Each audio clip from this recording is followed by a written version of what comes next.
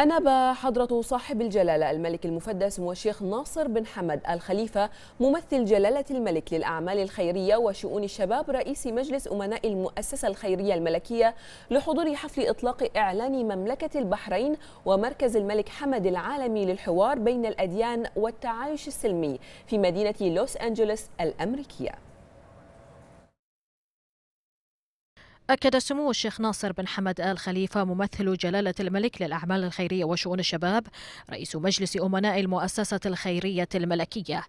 أكد أن السلام يمكن تحقيقه فقط من خلال التفاهم والمشاركة الفاعلة. مشيرا سموه إلى أن مملكة البحرين تدرك أهمية تهيئة بيئة معززة للسلام من خلال تمكين الأفراد والمجتمعات للشعور بالرضا حيال أنفسهم. ونوه سمو الشيخ ناصر بن حمد آل خليفة إلى أنه من خلال التفاهم نستطيع تحطيم المفاهيم والافتراضات الخاطئة للآخر. وحول مركز الملك حمد العالمي للحوار بين الأديان والتعايش السلمي. قال سموه أن تدشين المركز سيكون في شهر نوفمبر من العام الجاري ليساهم في النقاش العالمي رفيع المستوى بما يخص وتعزيز الحوار والتسامح بين الأديان بالإضافة إلى توقيع إعلان مملكة البحرين وهي وثيقة عالمية تلتزم بتعزيز الحرية الدينية للجميع. Distinguished guests, ladies and gentlemen, Assalamu alaikum wa rahmatullahi wa barakatuh. I am delighted to stand before you on this evening. I thank Simon Wiesenthal Center and its dean and founder, Rabbi Marvin Heyer, for co-hosting this event.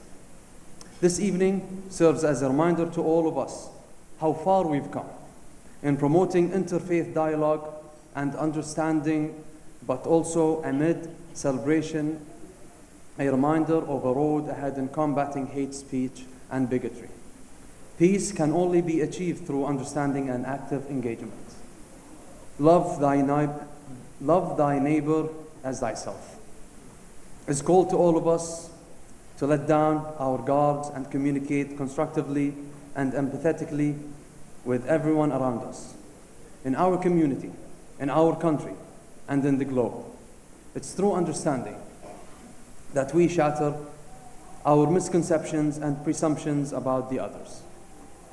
In the Kingdom of Bahrain, we realize the importance of creating an environment con conductive for peace by empowering the individuals and the communities to feel comfortable in their own skins.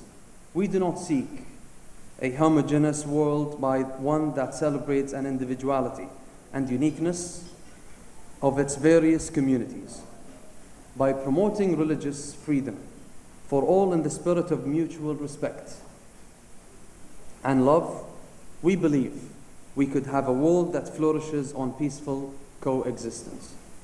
In pursuit of this, the Kingdom of Bahrain will launch King Hamad Global Center for Interfaith Dialogue and Peaceful Coexistence in November this year, inshallah.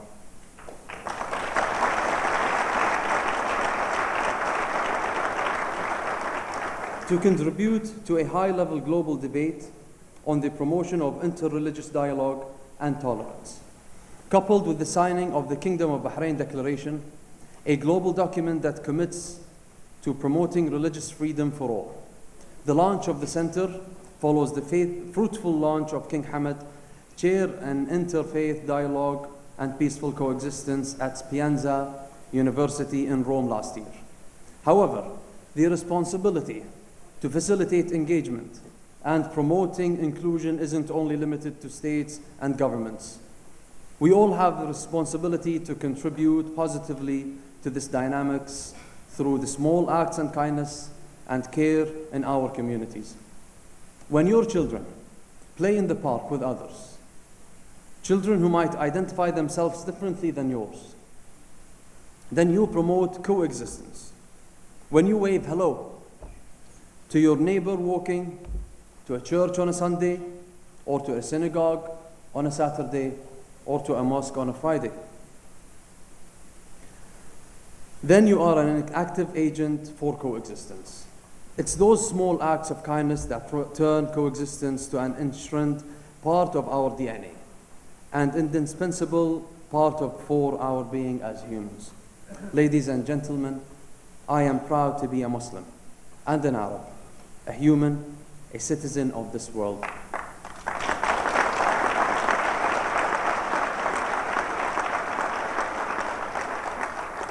It is a world where love and respect are second nature, and a world where there is no place for hate or violence. A world of peace. Thank you very much.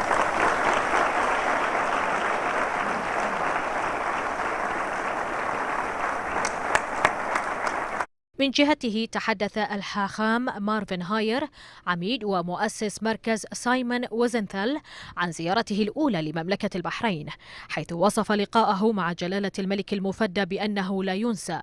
وقال إن هذه الزيارة أظهرت له مدى ريادة المملكة في التعايش السلمي بين كافة الأديان والجنسيات كنموذج يحتذى به على مستوى العالم. من جانبه أكد القس جوني مور أن إعلان مملكة البحرين يمثل رؤية طموحة لإبراز أفضل خصال الإيمان في وقت يتم فيه استغلال الدين أبشع استغلال وعلى مرأى الجميع في العالم. ولفت مور إلى أن رؤية إعلان مملكة البحرين تدعو إلى الحرية الدينية للجميع دون الانتقاص من أي ديانة لتكون نموذجا حيا لما يمتلكه مجتمع البحرين من خصال حميدة قل نظيرها في مستوى العالم.